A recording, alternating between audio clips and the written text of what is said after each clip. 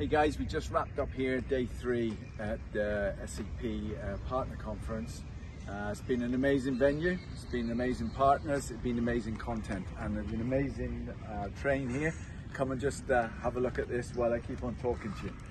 So one of the biggest takeaways I think for this conference was the integration between S4 Public, Cloud and BTP, particularly for us in the retail space.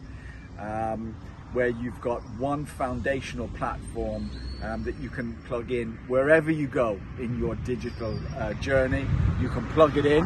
It's a little bit of thunder that you get an awful lot around uh, Panama.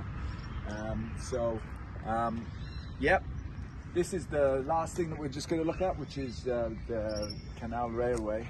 But a really exciting time here. The last thing that I'm just going to leave you with is is a little teaser of what's coming from SAP. SAP are moving into the blockchain and into the digital banking space.